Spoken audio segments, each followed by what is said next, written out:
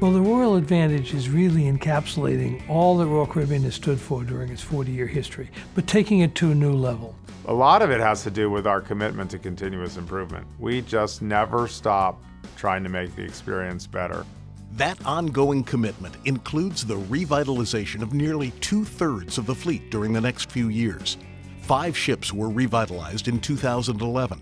Next is Rhapsody of the Seas, the latest example of the Royal Advantage, making the experience for her guests and her crew even better than before. Well, Rhapsody's special ship in our fleet has been for a long time, doing a wonderful service, of course, in both Alaska and Australia. She definitely deserves a revitalization. We're going to be very proud of her, no doubt, and I'm sure all the people who work on her will be even more proud to be serving there than they, they already are. One of the most spectacular transformations on Rhapsody is to the Centrum. Every night of the week, there will be these pop up experiences for guests with unbelievable music and unbelievable choreography and unique flying experiences with apparatus that's designed just for Royal Caribbean. The Centrum has become a vertical theatre, and we are adding uh, aerial performers uh, into that space. Now bringing it out into the Centrum right with literally within an arm reach of the guests standing on the decks watching and the we have 62 feet of height in here so that being able to span the five decks and really encompass everyone and the entertainment value is going to be amazing.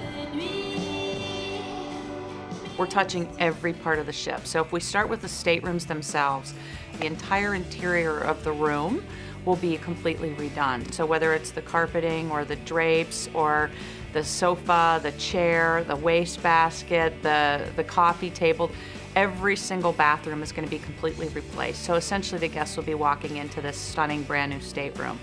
And then when I think broader about that, the general public areas will certainly be refreshed. And one of the areas I'm, I'm particularly excited about is with the Viking Crown Lounge with a, a whole new design package and decor that's been very updated.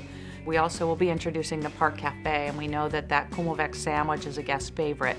Rhapsody will also feature Chops Grill, Royal Caribbean's well known American steakhouse, Giovanni's Table, a family style Italian restaurant, Izumi, featuring Asian cuisine, the new R Bar in the Centrum, and proudly serving Starbucks coffee in Latitudes.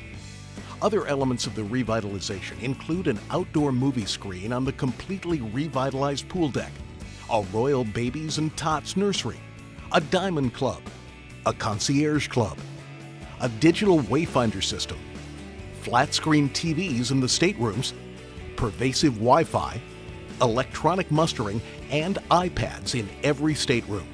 To get a facelift of this magnitude, to, to take your home, that is also where you work, and lift it up in the eyes of the customers who are there is special. I think the crew of the Rhapsody of the Seas is going to have, uh, have a lot to look forward to, and we're all really excited about how she's going to look when she comes out. But even with all of the changes, one very important thing will remain the same our gold anchor service. The bottom line for 40 years has been and continues to be the men and women that provide a level of service that's second to none. I'm really proud to uh, work with people like that, and I'm really proud of the service levels that they give our guests. That's really what it's all about. It's that we just never stop pushing ourselves to make the experience better for our guests and delivering the wow to them in memorable ways that they'll probably talk about for the rest of their lives.